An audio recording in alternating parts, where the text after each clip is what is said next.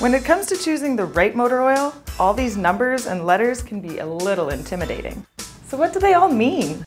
Well, simply put, these numbers represent the viscosity of the oil, or in other words, how thick or thin the oil is and how easily it flows.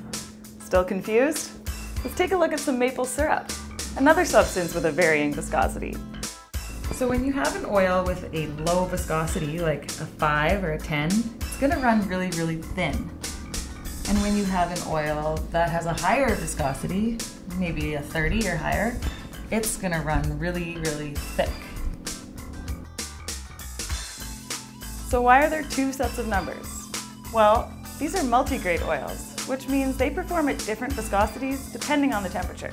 The first number tells you the oil's viscosity to flow in cold temperatures, with the W standing for winter. The second number tells you the oil's viscosity to flow when the engine is hot. When you start up your engine on a cold day, you actually want your oil to be at a lower, thinner viscosity. This is so that the oil can get into the engine and all the parts right away. As the engine heats up, you're going to want it to perform at a higher, thicker viscosity. This is because if the oil is too thin, it can actually lose its lubricant efficiency and cause wear on the engine. You should always read your owner's manual and use the recommended motor oil. But I hope this video helps you understand all these numbers and letters a little more clearly.